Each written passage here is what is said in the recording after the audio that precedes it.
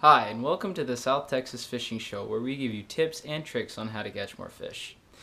This week, we're going to be going over to Arroyo City, where we're going to teach you guys how to catch shrimp.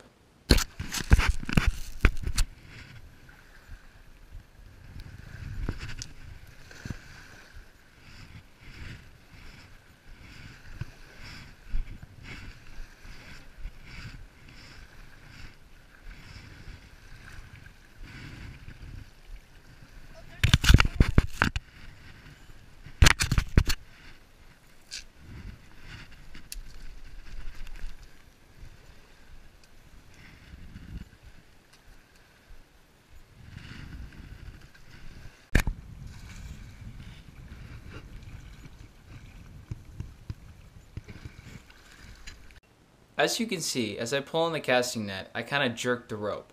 What that does is that pops up the casting net, which pulls all the shrimp off the bottom, which is where they normally like to hang out in the grasses and stuff. It grabs them and pulls them off the bottom so I can ensure that I get the most shrimp that I can possibly get.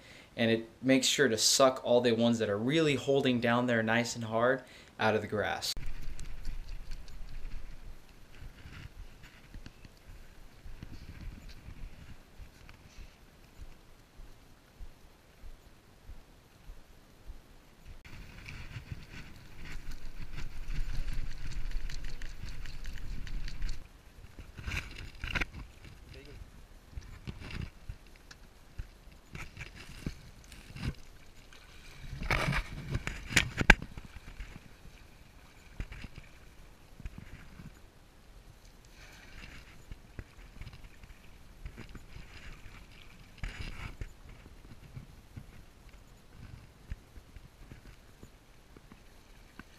Shrimp can be found in a variety of areas. They mainly hang out in grassy, shallow areas though, but can be caught sometimes in deeper water.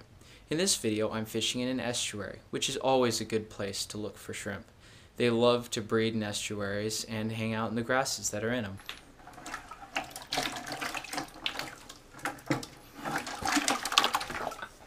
Alright, and this is our final product of what we got today.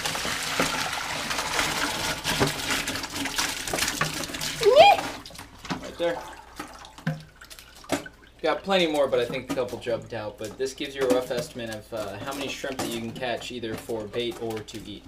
I hope this video helped you guys. Please subscribe below if you want to see more tips and tricks on how to catch more fish. Have a nice day.